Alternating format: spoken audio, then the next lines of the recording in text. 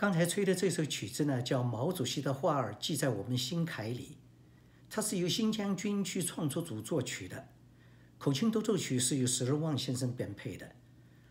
石先生在这首曲子里采用了八度和音、小提琴奏法、三度提琴奏法、大小伴奏、手正音、空气伴奏、颤音等等，希望您能喜欢。